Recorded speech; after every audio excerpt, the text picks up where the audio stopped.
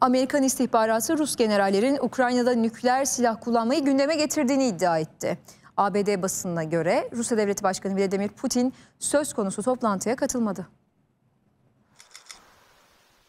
Rus generaller Ukrayna'da taktik nükleer silah kullanımını tartıştı. Çarpıcı iddianın sahibi Amerikan New York Times gazetesi. Gazete haberini üst düzey Amerikalı kaynaklara dayandırıyor. Buna göre bazı Rus generaller Ukrayna'da ne zaman ve ne şartta nükleer silah kullanılabileceğini masaya yatırdı. Rus lider Vladimir Putin toplantıya katılmadı. Nükleer konulu toplantının ne zaman düzenlendiği net olarak bilinmiyor ancak Amerikan istihbaratına göre Rus generaller Ekim ortasında bir araya gelmiş olabilir.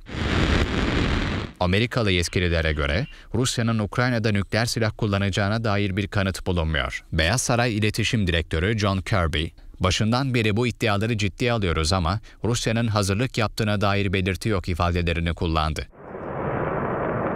Batılı ülkeler Rusya'nın nükleer duruşunda değişiklik olmadığı görüşünde olsa da Moskova'dan gelen açıklamalar endişe verici.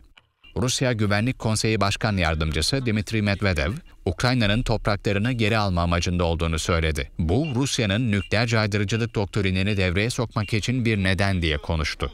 Medvedev, Batı'yı provokasyonla suçladı. Rusya geçen hafta endişeleri arttıracak adım atarak nükleer tatbikat düzenlemişti. Kremlin sarayından yapılan açıklamada Rus lider Putin tatbikatı çevrim içi olarak takip etmişti. Rusya'nın envanterinde yaklaşık 2000 taktik nükleer silah olduğu tahmin ediliyor.